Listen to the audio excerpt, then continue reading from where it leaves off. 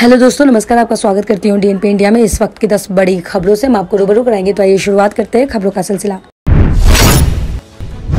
एक नाथ शिंदे ने महाराष्ट्र के बीसवें मुख्यमंत्री के तौर पर शपथ ली है। उनके साथ देवेंद्र फडणवीस ने उप मुख्यमंत्री पद की शपथ ली। प्रधानमंत्री नरेंद्र मोदी ने दोनों को बधाई दी है। शपथ के एक घंटे बाद शिंदे और फडणवीस ने कैबिनेट मीटिंग की।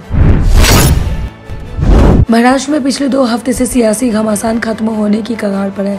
वहीं महाराष्ट्र के मुख्यमंत्री उद्धव ठाकरे ने इस्तीफा दे दिया है। इस बीच एक्ट्रेस कंगना रनौत ने उद्धव ठाकरे पर तंज कसा है। कंगना ने सोशल मीडिया पर लिखा है, जब पाप बढ़ जाता है तो सर्वनाश होता है और उसके बाद सृजन होता है और फिर जीवन में कमल खिलता है। संसद का मानसून सत्र 18 जुलाई से शुरू होगा, जो 12 अगस्त तक चलेगा। इस दौरान विपक्ष अग्निपथ योजना महँगाई जैसे मुद्दों पर सरकार को घेरने की तैयारी कर रहे हैं। बता दें कि 18 जुलाई को राष्ट्रपति चुनाव के लिए वोटिंग भी होनी है, जिसके नतीजे 21 जुलाई को आएँगे। पंजाब विधानसभा में सेना भर्ती की अग्निपथ स्कीम के खिलाफ प्रस्ताव पास हो गया है।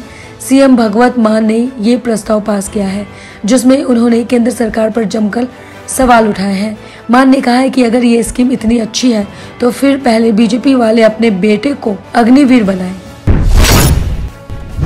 उदयपुर में कन्हैयालाल साहू के हत्यारों को उदयपुर जिला अदालत ने 24 दिन की जुडिशियल कस्टडी में भेज दिया है। अब नेशनल इन्वेस्टिगेशन एजेंसी यानी एनआईए इन हथियारों को जयपुर एनआईए कोर्ट में पेश करने के लिए ट्रांजिट रिमांड मांग सकती है। एनआईए इन आरोपियों को दिल्ली नहीं ले जाएगी।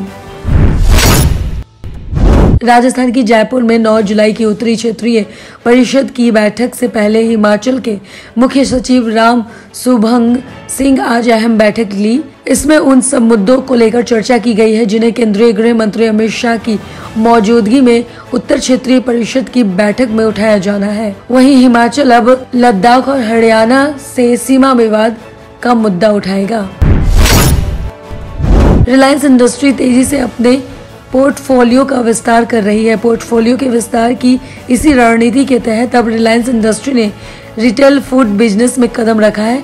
रिलायंस समूह की कंपनी रिलायंस ब्रांड लिमिटेड ने इस सिलसिले में global fresh food and organic coffee chain Pret A Manger यानी प्रेट ए मेंजर के साथ हाथ मिलाया है। इंग्लैंड के खिलाफ टी ट्वेंटी मैचों की सीरीज़ के पहले मुकाबले में विराट कोहली, जसप्रीत बुमराह और ऋषभ पंत नहीं खेलेंगे, ये सभी खिलाड़ी एक जुलाई से बर्मिंघम में शुरू हो रहे टेस्ट मैच में खेल रहे हैं। ये मुकाबला पाँच जुलाई को समाप्त होगा और पहला टी ट्वेंटी मैच सात जुलाई को होना है।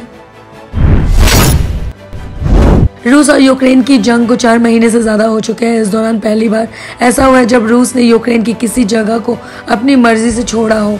हालाँकि दूसरी तरफ़ यूक्रेन दावा कर रहा है कि उसकी सेना ने रूस सेना को इस आइसलैंड से भगाने पर मजबूर कर दिया है। इसराइली संसद भंग कर दी गई है। एक स्पेशल बिल पास करने के नए चुनाव का रास्ता साफ़ कर दिया गया है। तमाम पार्टियाँ नए चुनाव कराने का समर्थन कर चुकी है। अब एक नवंबर को नए चुनाव होंगे। 2019 से 2022 के बीच ये पांचवा इलेक्शन होगा। खबरों की और जानकारी के लिए देखते रहिए डीएनपी इंडिया तब तक के लिए नमस्कार।